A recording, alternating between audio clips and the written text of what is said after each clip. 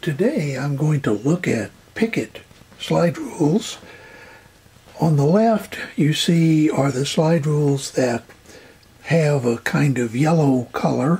Turn this off and you might see that a little better. They're not in chronological order, they are in order by model number. This is uh, a Model 3 this is a 1010, so 1010T. So you can see that the model numbers really don't give you a chronology. In fact, in a second, I'll take a look at the slide rule chronology, but I kind of wanted to give you an idea. These are sort of the best examples of each of these models that I have in, in my uh, quite limited collection. So uh, if you are interested in looking at a wider selection of uh, Pickett rules, you can go to the International Slide Rule Museum on the web and find uh, an awful lot of information about them. I'm not going to try to show you how to use these slide rules. I'm just going to talk about the history of uh, Pickett.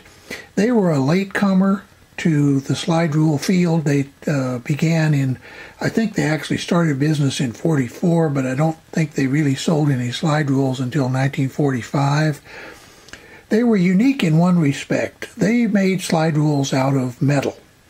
Now, most of the slide rules that they sold were made out of aluminum, but early in the company's history, they used magnesium. And there are two examples of the magnesium rules over here, this one and this one. I will go into each of these uh, individually in a minute and kind of talk about the uh, the the history and the chronology uh, more in a uh, in a historical context. Uh, but before we do that, let's take a quick look at a uh, uh, chart of Pickett and a little bit about how it developed over the years. This chronology shows a number of things. This is the year, and you'll notice that it runs from 1945 to 1975. By 75, Pickett was, and slide rules in general, were pretty much uh, in the past people weren't buying new slide rules. Instead, they were buying electronic calculators. At the top are the various Pickett trademarks uh, or logos, you might call them. And these appear on slide rules, and these are the approximate time periods when the uh, when they used that particular logo that's shown down here. Uh, I the, the earliest one that I have is this logo. I don't think I've got anything with this logo on it. I think this predates slide rules. But they have divided this up into what they call eight periods. But all of this is post-war. The alloy is the, the metal, the base metal that they built the rule out of, and on the left is magnesium and aluminum is, is the next. You see that from about 1950 uh, on, they only built aluminum slide rules. They stopped using magnesium for, for one reason, it corrodes very badly. And I have two magnesium slide rules, and both of them require periodic maintenance to keep the uh, the, the corrosion down early on, they used to groove the rails, and later they grooved the slide.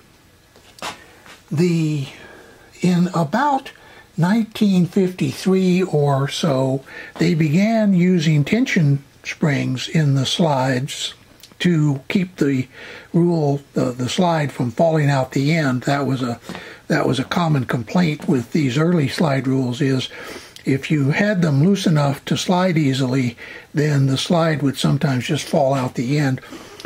Uh, these are, are of less interest, uh, stator posts, cursor bars, and so on. So let's take a look at a list of the rules we're going to talk about.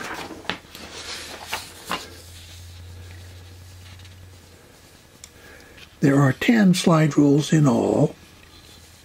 They're represented here. I'm going to zoom in a little bit so that we can see the printing a little better. They vary from a Model 3, which is one of the uh, series from which the Model 4 and the N4 were developed. These are the large, wide slide rules that you saw first.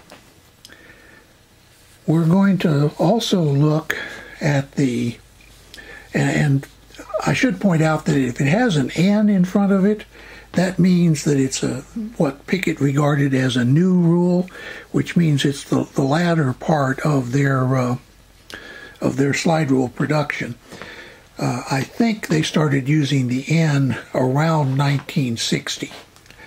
At any rate, the they used various names, and as we'll see, one of the things that uh, Pickett did was the log-log scales were somewhat unusual. We'll talk about that a little bit. If you want more of this, uh, more in-depth treatment, go to Professor Herning's uh, website. I mentioned it in a previous video, and uh, but they called Pickett, that is, called their log-log uh, scales dual base because unlike most slide rules that used a log uh, 10 log E format, Pickett used log 10 log 10 format.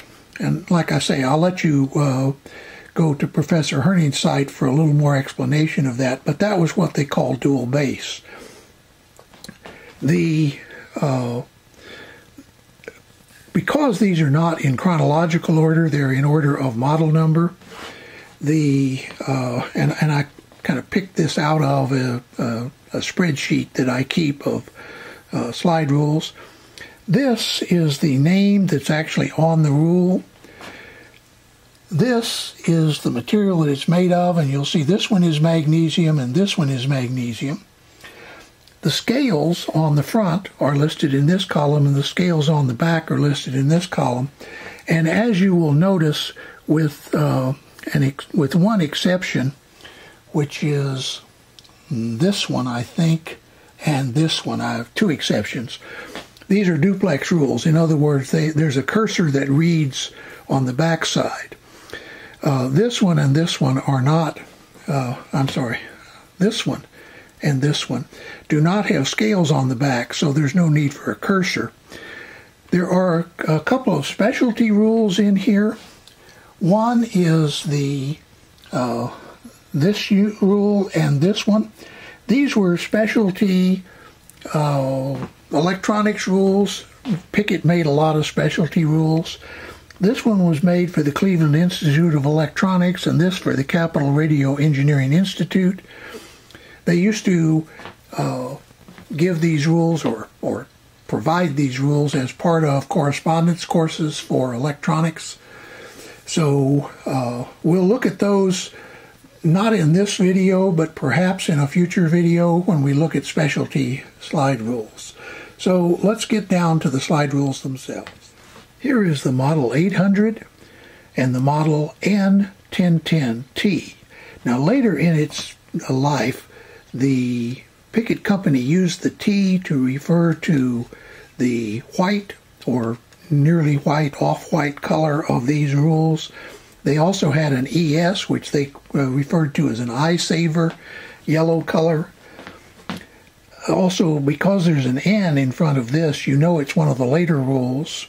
Whereas this rule, which is the model 1000, is called an orthophase duplex, and that's actually one of the very early rules. It's made from magnesium, as you can tell from the corrosion on the uh, top here. The the cursor has a groove or the, the track for the cursor is grooved. That's not true of these aluminum rules. The aluminum rules just ran on aluminum. Notice how the aluminum stays uh, shiny. Uh, and this is uh, an almost all plastic cursor. They still used metal screws, but the uh, but the cursor itself is is plastic. whereas the early rules had these metal cursors with uh, plastic inserts.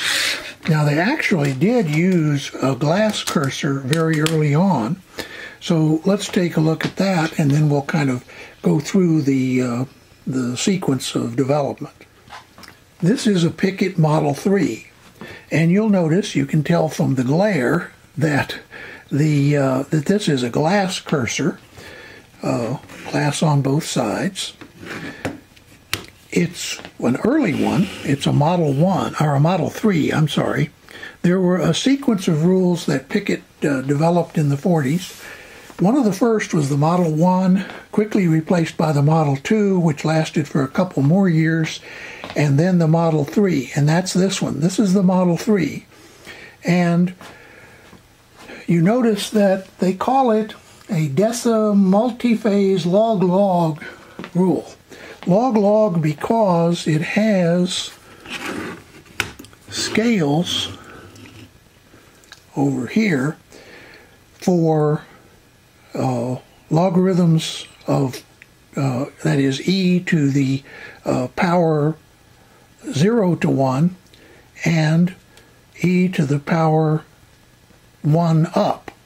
Uh, so basically plus uh, e to the plus x and e to the minus x. This particular rule, you'll notice, does not have a full complement of scales on the slide on the back. Instead, they have these things called decimal locators. On the front, is where most of, well, all of the trigonometric scales are. Plus, at the top are some cube root scales and some uh, square root scales down here.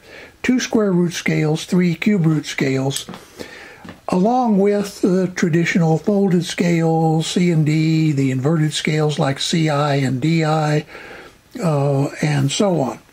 So this was considered a fairly advanced rule when it first came out. Now, after the Model 1, they produced the Model 2 and 3, and then the Model 4. This is the Model 4. It's the Model 4T. And you notice that uh, it has in parentheses vector hyperbolic. That means that they added. Now, you, you, may also notice that the, the scales are quite a bit different on this one than the than the Model 3. But many of the scales are the same. But there are two new scales that a lot of them, are, rest of them are just rearranged. But there is a TH, which stands for hyperbolic tangent, and an SH, which stands for hyperbolic sine. And we won't talk about those here, but maybe in a future video we'll look into hyperbolic functions on slide rules. By the way, I should point out that here you can tell this is the original color of this slide rule. But uh, because it was underneath this and was obviously exposed to light for quite a while, perhaps also a smoker's environment. At any rate, this color is the uh, the color now, but this is the color it probably was when it came out of the factory. So I point that out because it really wasn't intended to be quite this this uh, yellow. This one was, and even more so, the N4 T, which is this one, was definitely intended to because it it says it's an N4 uh, ES, which means eye saver. Now you'll notice that it has many of the same scales.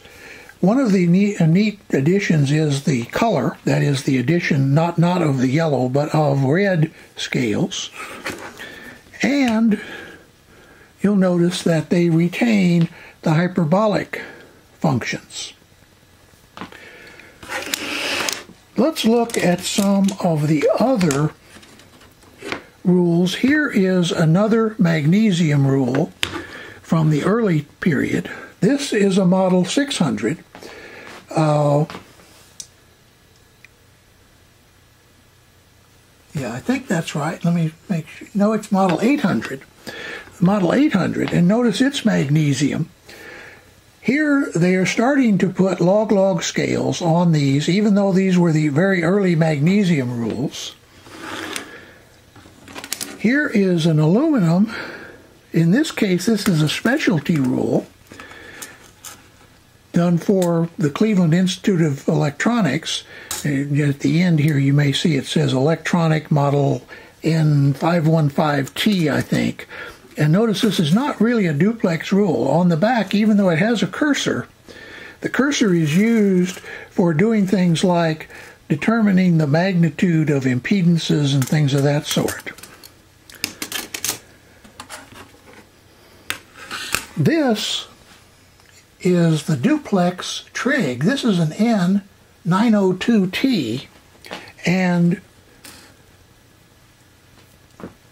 the this was one of the first, the 902 was one of the first to have this double T scale that you see here with T and S uh, sort of back to back down this uh, down this line here. The uh, used uh, a photo process to put their scales on, and one reason you do need to be careful when you're collecting uh, Pickett rules is like in this one, there might be a temptation to go in here and try and remove a lot of this because some of it I'm sure is just nicotine and, and dirt and uh, and also some surface uh, color discoloration. But if you go in here and try to remove this, you're going to wipe away the scales as well. So be careful with Pickett rules. The scales are a little more fragile than the rules that have engraved scales. Now, I just showed you a specialty rule. The this one is one that was made for the Capital Radio Engineering Institute. And it also is a uh, specialty rule that has impedance and so on. And like I say, we'll talk about that perhaps in a future video. This is the N531ES for Eye Saver.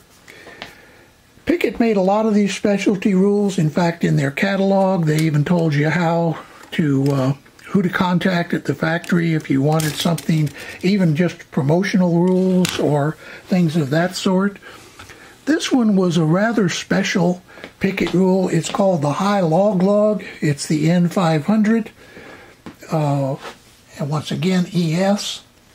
And the high log log was the first rule that I know of that Pickett made that had a relatively complete set of log log uh, scales. In other words, scales that went down to the small enough numbers and up to the high enough numbers that it was really useful in engineering. I earlier talked about this rule. It's one of the early uh, magnesiums. This is the Model 1000. It's called the Orthophase Duplex. And uh, duplex, as I've said before in some earlier videos, simply means that there are scales and cursors on both sides of the rule. The, uh, as you may uh, see in the uh, K&E uh, video, that was originally invented by a K&E consultant, and they patented it and used it for a very long time. Eventually, the patent expired, and other companies could make duplex rules. So uh, this is the last rule I'm going to show you, which is the 1010T, and it's called the trig rule. And one reason that I want to do that is I wanted to show you first some of the manuals that came with these. This was the the Pickett manual. Let me zoom out a little on that that came with that Trig N1000, or, or yes, N1000. And notice it says how to use trig slide rules, and I apologize for the glare.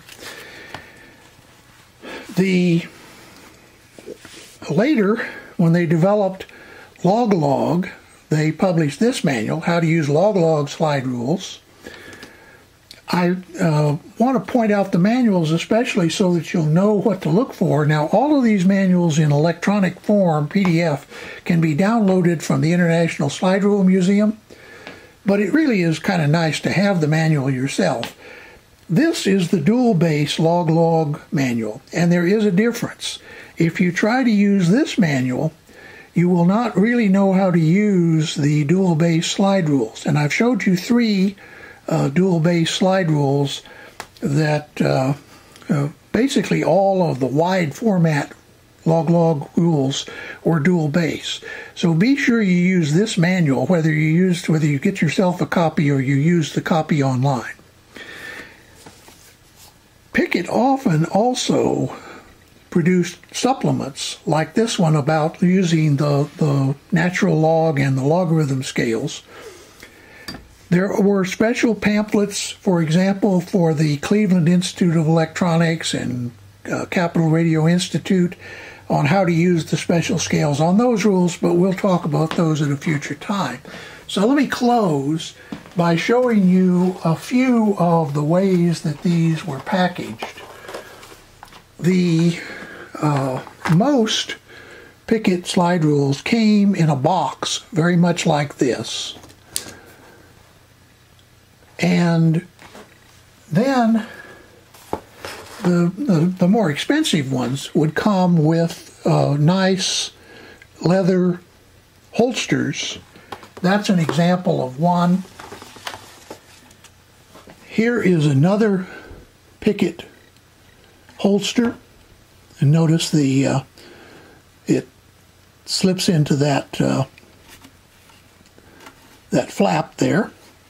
And finally, they produced, as I showed you earlier, some uh, fairly nice holsters for their specialty slide rules. This is the one for the Cleveland Institute of Electronics. So I haven't been trying to show you the technical details of these slide rules, more a kind of historical overview in part because this this series is intended to be more of a retrospective, uh, a kind of nostalgic look back.